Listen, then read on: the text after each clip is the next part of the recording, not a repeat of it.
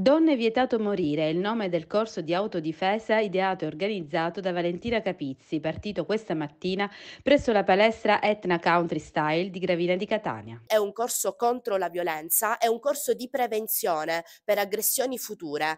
E tutte le donne gratuitamente sono benvenute a questo corso che vogliamo espandere in tutto il territorio catanese.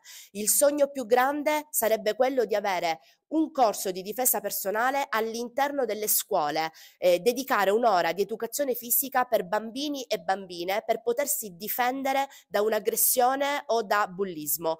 Voglio solo sottolineare, non è un corso che mira a combattere con l'aggressione, eh, ma solo a divincolarsi e scappare per chiamare le forze dell'ordine.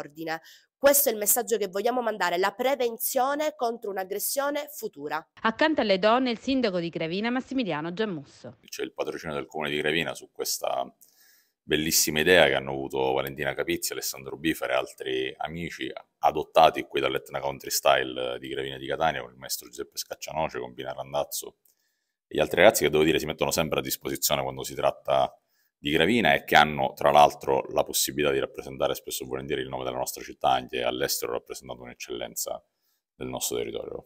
Abbracciamo appieno quello che è la, la, difesa personale femminile perché è diventato un fenomeno che comunque ha bisogno di essere attenzionato e noi non possiamo fare altro che dare il nostro supporto a questa valida causa.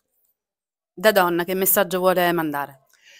Dobbiamo essere pronte a reagire e forti soprattutto nel eh, fronteggiare e nel saperci difendere. Questo è importantissimo. Vi presento l'insegnante Denise Di Stefano, presidente dell'Accademia Italiana di Karate Kenpokai, che terrà il corso. E si concentrerà su due aspetti, quello psicologico ed emotivo, come affrontare la paura in caso di aggressione è quello tecnico e pratico, cioè darà gli strumenti basici, elementari a queste donne per potersi difendere in modo consapevole e tecnico in caso di aggressione. In siciliano per me l'espressione più bella per dire ti amo è il siume il mio respiro, la mia anima.